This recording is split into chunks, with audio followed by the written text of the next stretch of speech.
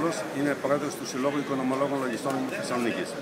Ήρθαμε εδώ πέρα στην Α3 Θεσσαλονίκης να διαμαρτυρηθούμε ειρηνικά για τα μέτρα τα οποία επίκειται να φορολογηθούν.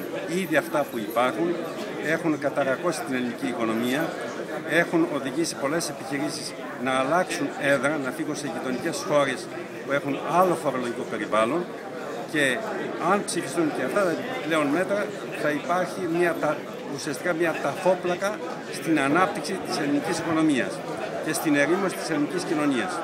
Πιστεύετε ότι θα φύγουν δηλαδή και άλλες επιχειρήσεις στα Βαλκάνια να μεταφέρουν και την έδρα τους; Υπάρχει συνεχής προβληματισμός. Όλοι ψάχνουν τρόπους με τους οποίους ας πούμε, θα υπάρχει, να, να βρουν τέτοια λύση. Ε, πολλοί είναι στο όριο, βεβαίως τα νέα μέτρα να ψηφιστούν θα είναι η χαριστική βολή, ε, το τελικό στοιχείο με το οποίο θα πάρουν και την απόφασή τους.